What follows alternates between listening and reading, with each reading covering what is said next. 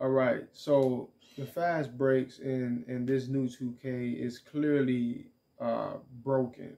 You know, it's it's clear that they've made some sort of concerted effort in screwing up your ability to pull off a fast break. All right, uh, they tinkered with the transition aspect of it, where you're coming down court and you're, you know, you're running, you're in the flow, and you're passing the ball and things of that nature. Uh, it's clear that they they they've tinkered with it a bit too much, and they've made it more difficult for you to pull it off. Right. So now let me explain what's going on here. So I'm coming down to the fast break, and I want to pass the ball to my guy right here. And I give him the ball. We're going to transition. The momentum is forward. I give him the ball, and he stops for no reason right? What reason? What what possible reason uh, would you be giving a ball uh, a man a ball on a fast break and he just stops running for nothing, right?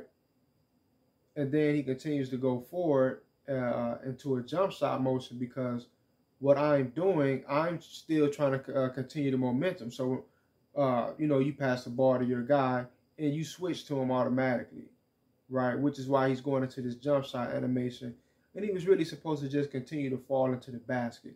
Even if, let's say, you want to say uh, uh, you pulled up too early, there's still an animation that that even with a jump shot that that leans forward, that goes forward, right? When you're when you're pulling up a jump shot. So even that wouldn't make sense because he just stopped. He stopped, then he took a bounce uh, step, and he went into a shoot animation. Completely blown blow the opportunity I had to get an easy bucket right here. All right, and the algorithm understands this is this is not um, just a, a malfunction in the game. Once again, as I always put it, there's a deliberate process that they are going through to put these kind of things into the game and to make it seem as if it's natural right? Like, oh, this is just playing out that way. No, it's not just playing out that way. This is this is very purposeful, right? They understand exactly what they've done, right? Because you can, if you if you play 2K21 consistently, and you play in 22, you can feel the difference. Like it's it's it's a bit stark, the difference in how the fast break plays out, right? It's just, it's really it's really just not the same. Look at this shit, man.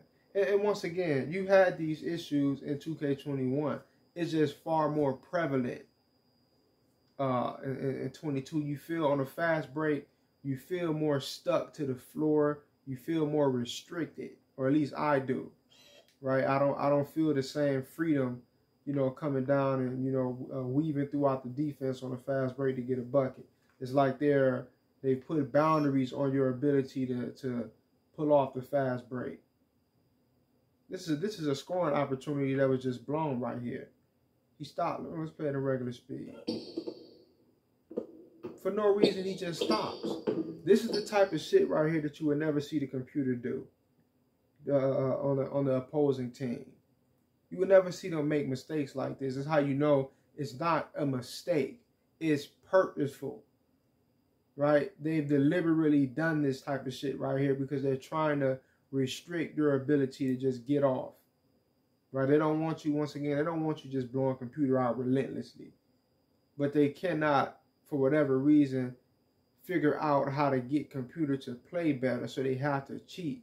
Uh, they have to give computer the ability to pretty much just make 50 fucking jump shots in a row in 2K22 and they have to uh, make their their defense just on some unrealistic uh, alien type of you know like what the hell is going on everybody has has gotten prime uh, like one of the comments said everybody has prime mj defense on this game right? But that's just about it man. Peace